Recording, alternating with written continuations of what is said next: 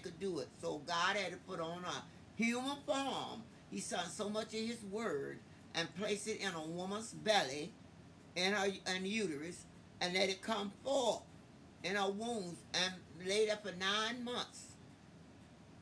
So he said, worship God in spirit. What part y'all don't understand, say the Lord. You worship him in spirit and truth because he is a spirit. He don't want you idolizing man. Jesus himself tell you that. So what part of, part of the Bible you don't understand that? Quit being smart at it and read your word. Study your word. It's right there in your eyes. But the devil got you thinking that you're going to show up the preacher.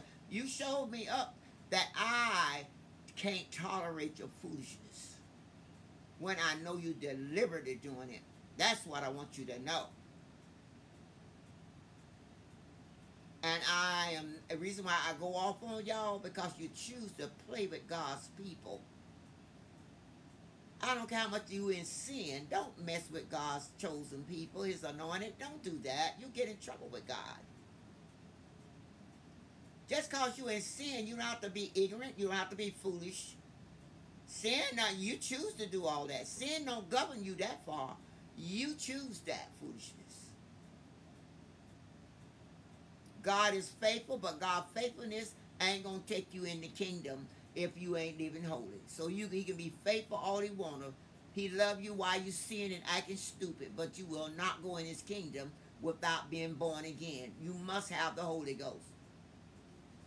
Say the Lord. You got to have the Holy Ghost. I don't care what you say, how faithful God is. God is very faithful, but ain't nobody going to heaven because he's faithful. You're going with him because you are born again, Holy Ghost filled, and abide by God's rules. That's how you get to go with God. Y'all just ignorant.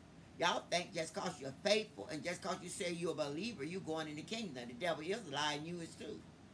It ain't working that way.